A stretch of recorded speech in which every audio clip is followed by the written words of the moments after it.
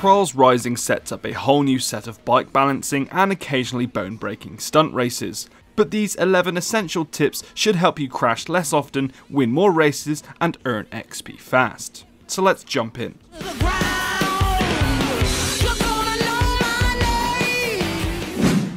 Learn how to use physics. The key to success in Trials Rising is mastering physics and using it to your advantage to maneuver your bike around the tracks.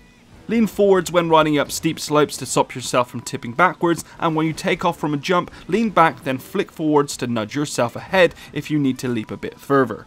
As you land, try to be as flat to the surface as possible to get back into a stable position and minimise momentum loss from suspension compression.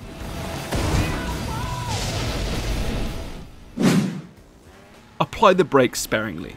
Rather than constantly tapping the brakes, you're generally better off managing your speed by easing off the throttle and keeping your momentum in a smooth motion.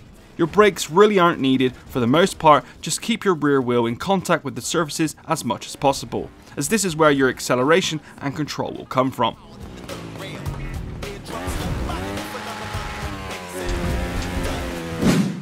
Slow down to speed up. Okay, so that may sound counterintuitive in a game that's all about racing, but bear with me. Some tracks feature huge jumps that can give you plenty of airtime, but may result in you losing valuable seconds as you fall back to earth. You can often achieve better time on a track by easing off the gas or even dabbing the brakes to drop off the end of a big ramp, which will allow you to land quicker and hammer the throttle to get you back up to speed.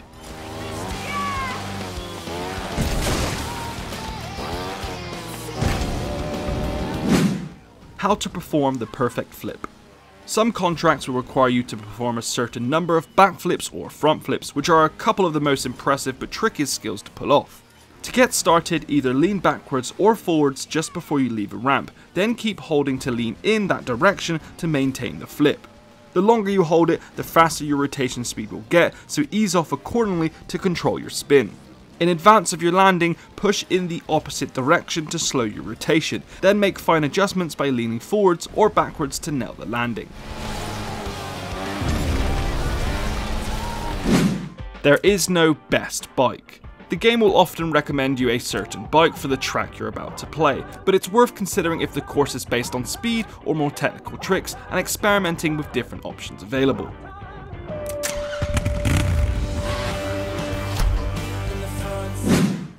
Complete the tutorials.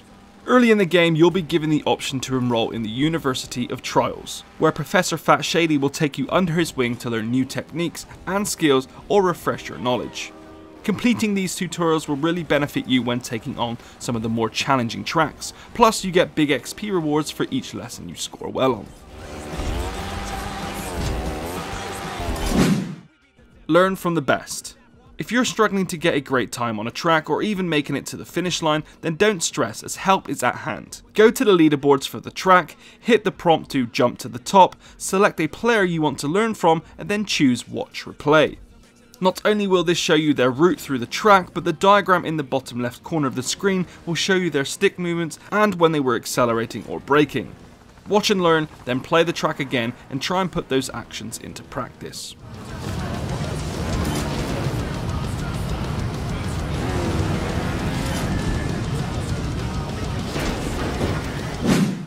Rack up XP from medals and contracts. There are two main ways of getting XP. The first is by earning medals for beating the target times on each track, with more XP being granted by the higher medal. With more XP being granted, the higher the medal is. The other way is by completing contracts for sponsors, which will regularly pop up when you start a track. Don't stress about skipping a contract or failing it once you've accepted it, as it will still be there for you next time when you visit the track.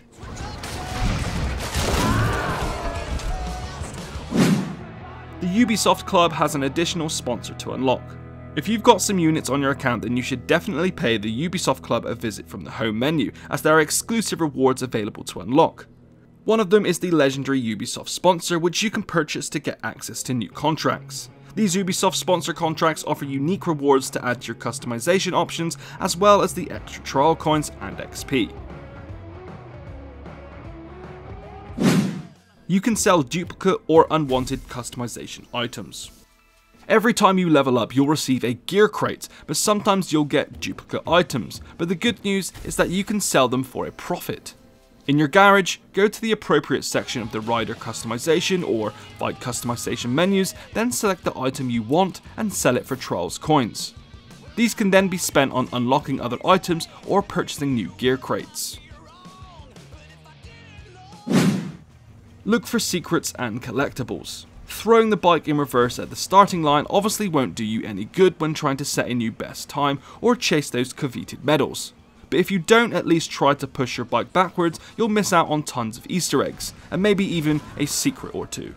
You can also go exploring at any point when you're riding. By hitting triangle or Y, you deliberately bail out and launch yourself off the bike. When you're flying through the air, you can use lean controls to adjust your trajectory. You can brake or accelerate, this will cause you to curl up or stretch out, while holding triangle or Y will allow you to grab onto obstacles, which you can then swing off to travel further.